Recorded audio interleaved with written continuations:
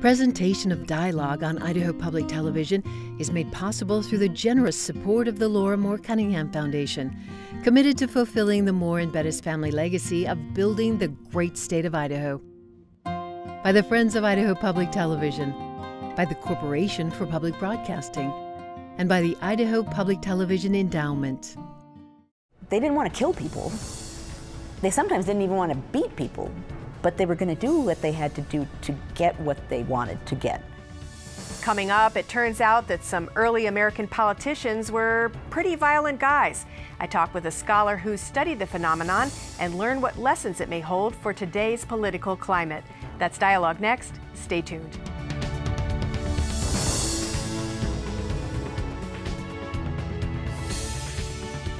Hello and welcome to Dialogue. I'm Marcia Franklin. My guest today loves what she does, as you will soon hear, and that's even when she's writing a book called Field of Blood. Yale professor of history Joanne Freeman is known for her expertise on Alexander Hamilton. She edited a comprehensive volume of his writings and is featured in the PBS documentary Hamilton's America.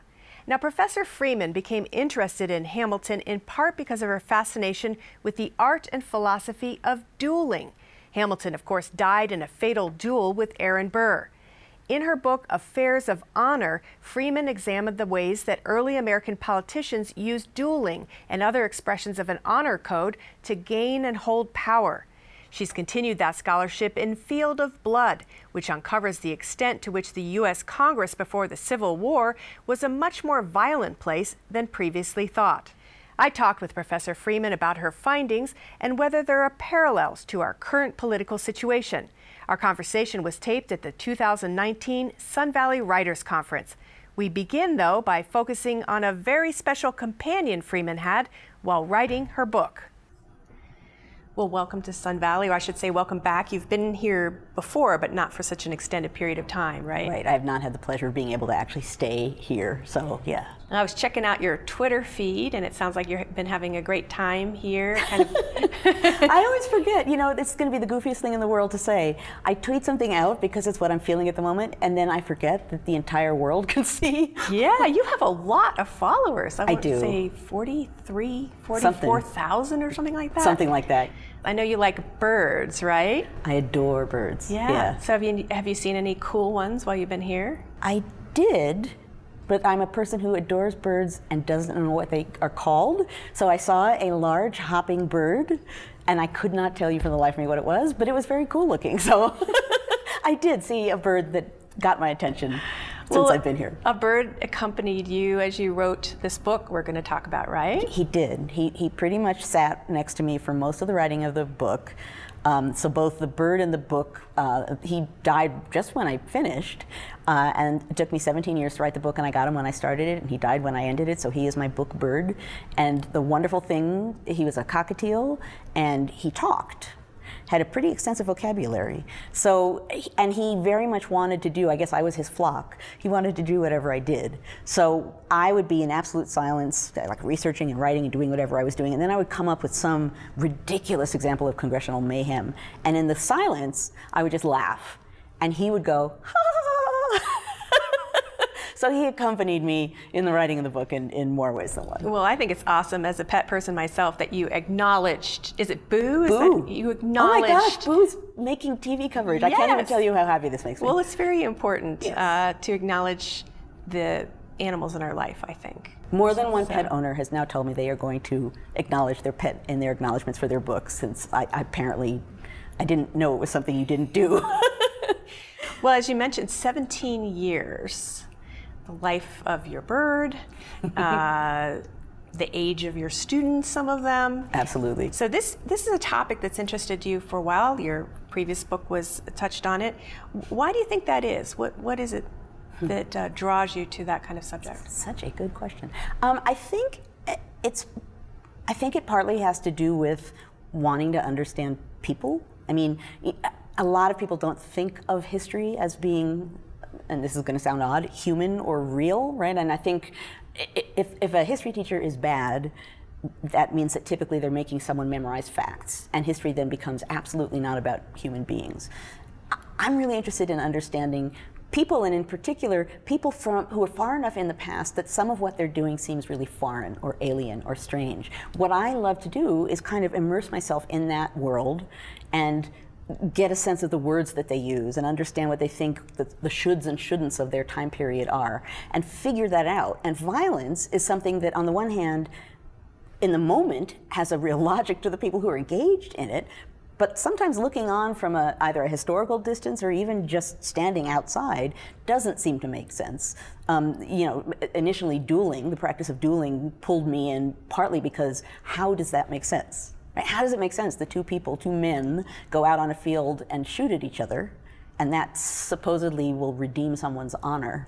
It, it, seemingly doesn't make sense, and yet it made a lot of sense to a lot of people who were very smart in early America, the, the 18th, 19th centuries. And to me, that kind of a um, cultural puzzle, I just, I love figuring that out. Ultimately, you were able to uh, really verify about 70 or at least 70 kind of maelstroms of some sort. Physical violence of various sorts. Yeah, yeah, yeah, and we'll talk about how you did that. But um, explain to folks watching what you mean by that. What was going on? By violence, I mean um, fistfights, uh, Bowie knives being pulled, pistols being pulled, canings, um, shoving matches, um, huge melees where there are dozens of guys sort of slugging each other between the aisles. Physical violence. We're talking about physical violence, which is not generally speaking how people imagine not just American politics or high politics, but the 19th century with like, you know, Henry Clay and Daniel Webster and they're sort of, you know, all standing in black doing a variety of noble things. And I think that's what people mostly think about. And uh, obviously, there was a lot happening around the people standing there with their saying noble things with their finger in the air. These incidents, though, were kind of glossed over or even censored from um, the newspapers or what passed for the congressional record of the time, there was all sorts of kind of roundabout ways that they talked about this obliquely. Yes. Um, and so that, that also made it hard to research, right? Well, that was one of the, there were, there were a lot of tricks to this project, and one of them was absolutely the period's equivalent of the congressional record doesn't include most of these incidents. It, it, there are hints in the record, which once you know the violence is there, you recognize the hints. So, for example, the record will say something like, um, the debate became unpleasantly personal at one point. Now, you wouldn't think that that means anything, but in at least one case, a congressman pulled a gun on another congressman. That is unpleasantly personal, but you wouldn't know what that meant. Well, and as I was reading your book, I was thinking, uh, thank goodness some of these politicians wrote to their wives. Yes. Because that was another source for you, because they would write home and say, oh my gosh, what's happening. Absolutely. Uh, they would write to their wives and say things, kind of not surprisingly, in letters to their wives that they wouldn't say otherwise. Um, they would talk about being afraid. Uh, there's one letter to a wife in which the person is trying to count how many guns he sees.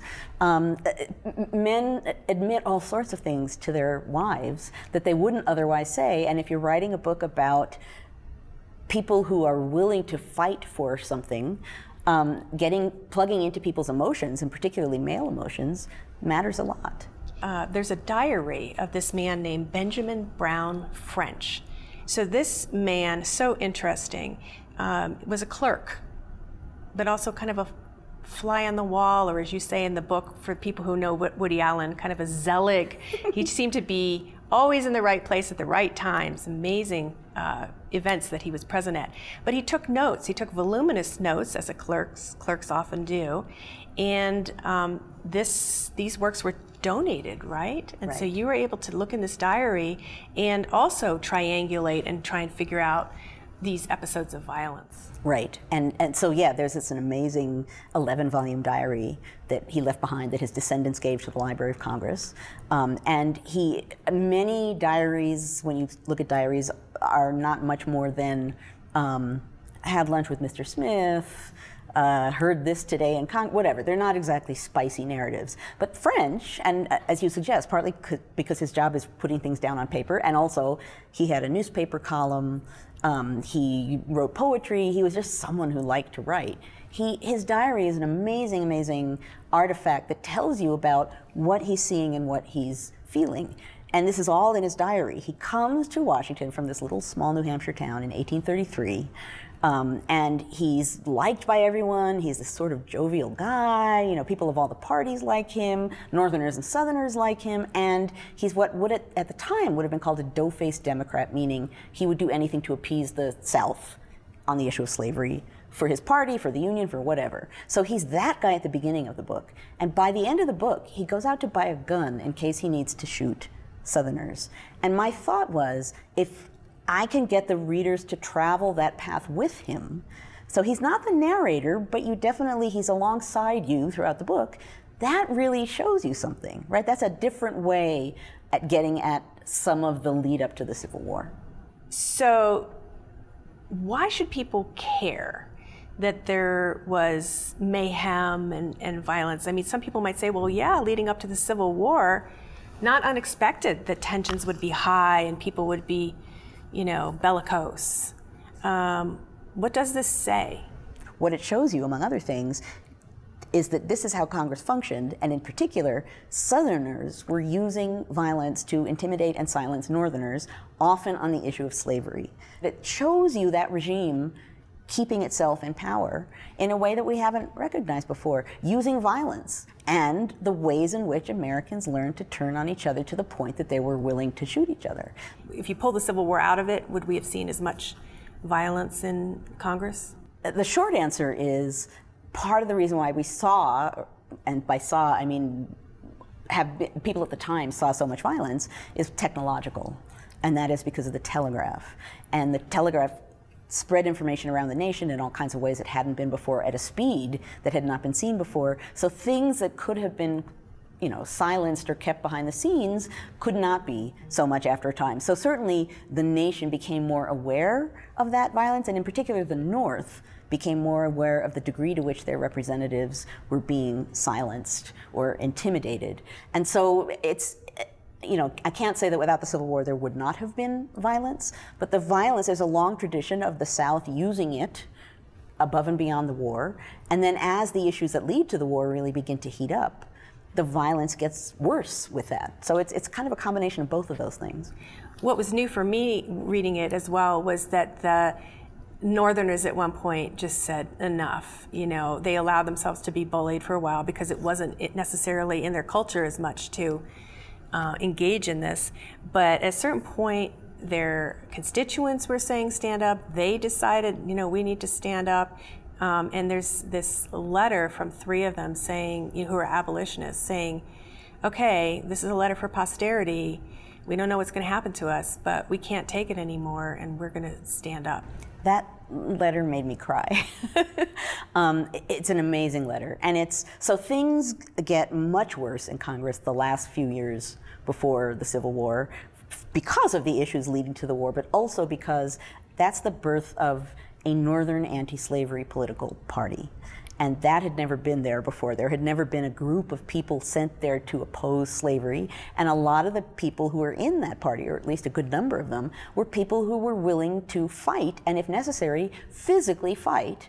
Their representatives told them go fight for our rights. I mean, some of these men came to Washington with weapons, so they were prepared to be that person. And so, uh, very early in the project, I found this document, not intended for public eyes at the time, written by three abolitionist senators, uh, written years after the fact.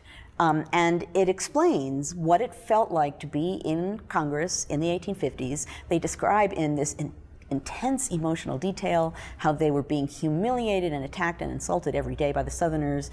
And so they decide that they will now willingly fight duels with these Southerners rather than be bullied by Southerners who say, well, you don't dare to do this. You, you wouldn't fight a duel, and thus I'm going to keep bullying you. And they say in this remarkable statement, we understood in making this decision our constituents would ostracize us we might lose our jobs, right? Dueling in the North at this point is seen as a barbaric Southern custom. They say in the statement, we understand all of that, but we can't stand by and allow this to happen. So we decided we would duel anyone who comes against us, and their phrase, to the coffin.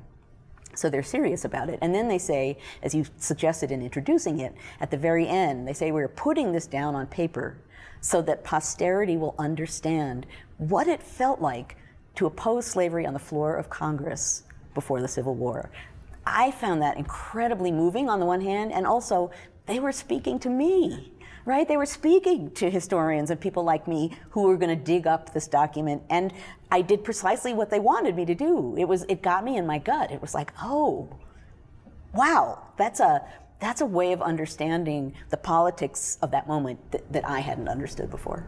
It's really really interesting. Um, there were this was what passed for entertainment in the day you know debates were printed in newspapers there were people up in the galleries watching this sometimes women. Yes. And, um, you know, egging people on sometimes. So well, this was, you know, the culture itself was violent. Violent. Absolutely. And that's a really important point is that um, the, the book isn't intended to say, you know, Congress was a bad place and it was violent and the rest of America was shocked, shocked. Uh, the United States was extremely violent in this time period rioting, dueling, slavery, Native Americans being slaughtered. There were all kinds of ways, election riots. There was a lot of violence in this period. And in that sense, Congress truly was being representative. The interesting part about Congress, and this is one of the things that got me interested in the beginning, it's like what happens when Southern violence meets the northern version of it and the western version of it. And what happens, as the book shows, when the Southerners have an advantage, a cultural advantage of violence, that they can deploy to their benefit. That's part of what the book shows, that, that they were using violence and intimidation and bullying as a deliberate political tool, and for a while it worked. They didn't want to break Congress. They just wanted what they wanted from Congress. So they didn't want to kill people. They sometimes didn't even want to beat people, but they were going to do what they had to do to get what they wanted to get. And sometimes that pushed them to that level. Well, let's pull this forward um, because as a historian and a public historian, I'm sure you get asked, how does this relate to our times today? Is it a cautionary tale? Is it reflective of some things that are going on now? Is it both? Uh, you know, uh, so 17 years ago, we were not in the place we are now. So the quirky thing about writing this book is that as the years went on, it became more and more timely in a way that as a historian, I never intended and certainly couldn't foresee, right? So coming out now, one, one or two people have said to me like, wow, that's incredibly savvy of you. It's like, no, there's nothing savvy about this at all. I started a bazillion years ago. Um, certainly, there are aspects of it that are, um, I don't want to say it's a cautionary tale, um, but that shows you the steps, the, the logic of, as I sort of suggested before, how Americans learn to other each other, right? So the, what the book is showing is a moment of intense polarization on a political issue with a huge moral component, right? Slavery. Uh, an issue that splinters political parties that no longer are operating like they used to, an issue that fills the press and, and press on all sides of the issue begin to create conspiracy theories about what the other side is doing, um, an issue that people begin to lose trust in national institutions of government because they seem unable to cope with the issue, an issue in which Amer some Americans are calling other Americans un-American. Obviously, I could stand up and give a lecture and tick off all of those things without telling you what time period it's in, and there are echoes in the, the kind of moment that we're in now we're in an extreme moment of polarization. The 1850s was one, the 1960s was one, the 1790s was one. So there have been moments in American history where I think there's like a Americans realize that there's some I think somewhere I called it like a pathway issue, a major issue that people understand is fundamental about what America is, that's under debate, and that polarizes people. You know, in the 1790s, it was the workings of democracy, how democratic a republic should America be.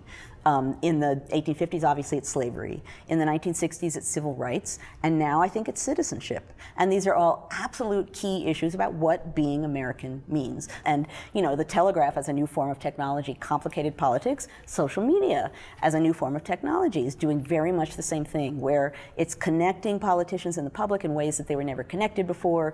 It's spreading news without a spin. There's no filter. Um, things happen very quickly. Uh, and on the one hand, you think, well, in a democracy, right, that's a, a free press is the core or one of the cores of a democracy. Um, that transparency in government should be a good thing, right? That all of this news is spreading quickly. But if a democracy is about a conversation between politicians and public, any technology that complicates that conversation complicates a democracy. And so that's one of the many things that's going on right now. You don't expect violence, though, of the level that we saw in your book to break out. I mean, after all, we have all sorts of uh, police and metal detectors and, and but it could. I mean, I mean, I guess I, uh, you know, on the one hand, my immediate response to what you just said is no, I don't expect that. You know, the book is about another place and time, in a sense. The 1850s and now are not equivalent, and how people engage in violence is not equivalent. And, and in the same way that Congress is representative then, it's representative now. Now, that said, if you had asked me 10 years ago, would I be seeing much of what we're seeing now, I would have said, no, there's no way. You know, I've written op eds for the New York Times. I'm a historian who's basically centers in the early 19th century. This is not a thing I thought I would be doing. And, but I've now written op-eds saying, well, let's, let's see what we can learn from what these politicians were doing in the 1830s. What can that tell us about performing before the public or insulting people in Congress? So I have no idea. Uh, you know, I don't have a crystal ball as to what's happening it, it, history matters in a lot of ways, and one of the ways in which it matters is it alerts you to what has happened before in moments like this and gives you a sense of things to watch out for. As we start wrapping up, I think our viewers notice your enthusiasm. I, as I researched you, noticed your enthusiasm. You just love what you do. You love history. You love bringing it to the public, to your students. Um, you started very, very young, at age 14, reading the papers of Hamilton. Um, where is this passion coming? What, did, what is uh, causing this passion and excitement? And wow. why do you why do you love what you do so much? Wow. Okay. That, that in all the interviewing I've done, I have not been asked that question.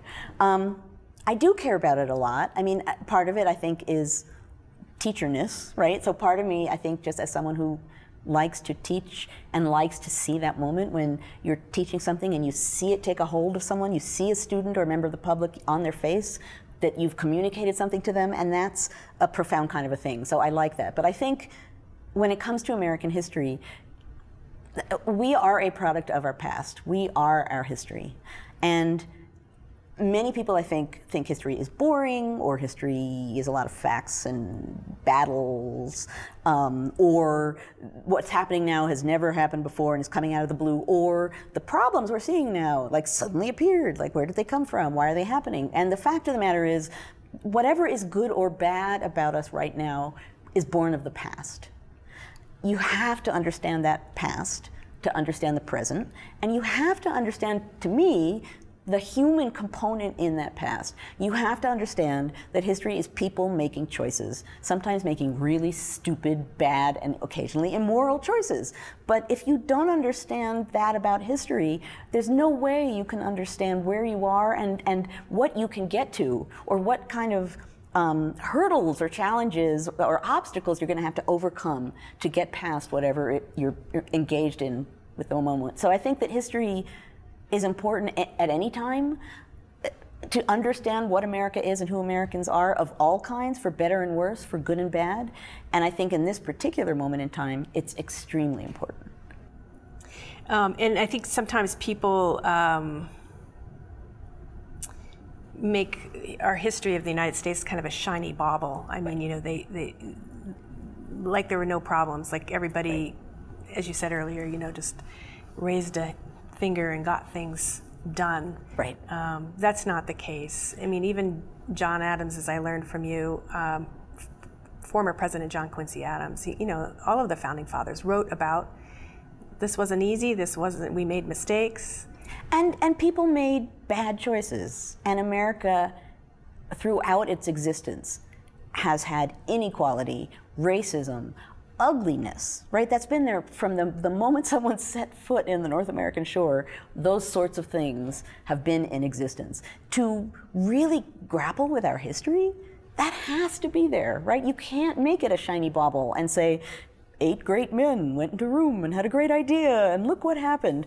Well, yeah, but some of those eight great men thought that they owned people, right? I mean, and, and built that into what they were producing, and that's part of who we are.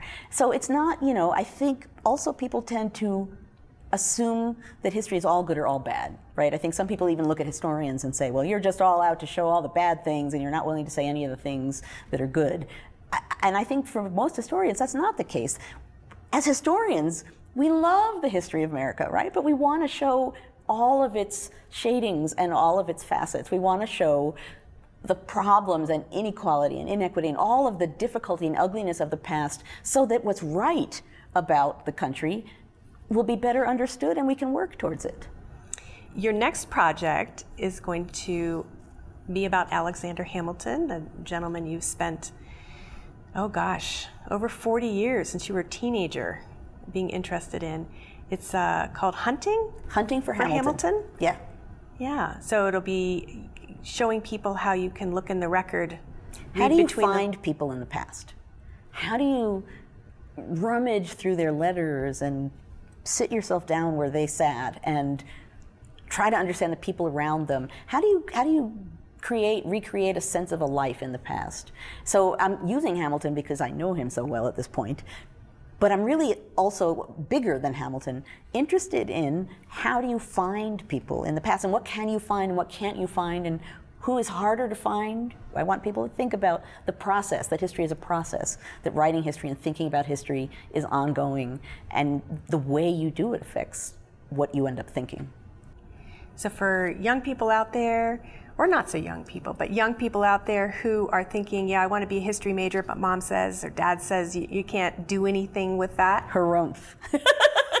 I offer a big harumph. As a history major, and for that matter, as a humanities major, but as a history major specifically, you learn amazing skills. You learn to write, you learn to evaluate evidence, you learn to reason and create arguments. You learn all of these basic things that no matter what your job is, those are going to be at the core of what you're doing. So to think, you know, well, you're a history major, you're going to go flip burgers, is a total misunderstanding of what you do when you study the humanities. You're, you're learning basic skills about thinking, and you're learning about how to think about other people that's pretty crucial whether you're in business, whether you're a lawyer, or whether you are going to go on and become a teacher. So, um, all the parents lurking out there who think it's impractical to be a history major, um, I think you're you're you're not doing your right due by your kids because I think that way of, of understanding the world um, is crucial and, and needs to be perpetuated. Plus, it could be a lot of fun too. It's right? really fun. I guess that's kind of obvious. well, thank you so much for taking time to talk with me and our viewers about your work. I really appreciate it, and I look forward to reading your next book. Well, thanks very much. Thanks So much for having me. You've been listening to Yale Professor of History, Joanne Freeman. If you'd like to hear more from her, I recommend her podcast, Backstory. And if you'd like to stream our dialogue interviews from the Sun Valley Writers Conference dating back to 2005, check out our website. Just go to idahoptv.org and click on Dialogue. For Dialogue, I'm Marcia Franklin. Thanks for tuning in.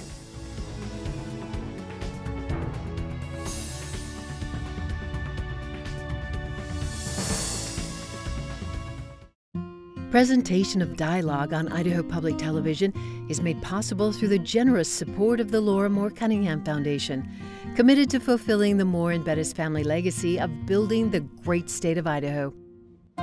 By the Friends of Idaho Public Television, by the Corporation for Public Broadcasting, and by the Idaho Public Television Endowment.